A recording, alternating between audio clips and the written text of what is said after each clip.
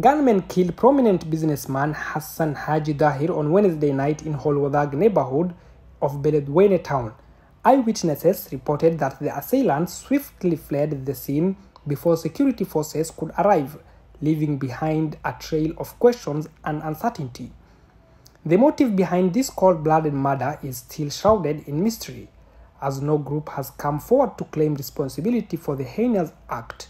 However, it is no secret that the group Al-Shabaab has a history of carrying out such attacks, targeting both business people and government officials alike. Hassan Haji Dahir, affectionately known as Hassan Nigeria, was a respected figure in the community and had recently been overseeing renovation work at the Warabole Dam, one of the Beledweyne Dam sites. This particular dam plays a vital role in protecting the town from the devastating floods caused by the Shabelle River. The town of Beledweyne, situated in central Somalia, has faced the wrath of nature's fury in recent times. The town of Beledweyne, situated in central Somalia, has faced the wrath of nature's fury in recent times. Catastrophic floods wreaked havoc, displacing nearly a quarter of a million people as the Shabelle River breached its banks, engulfing the town in turbulent waters.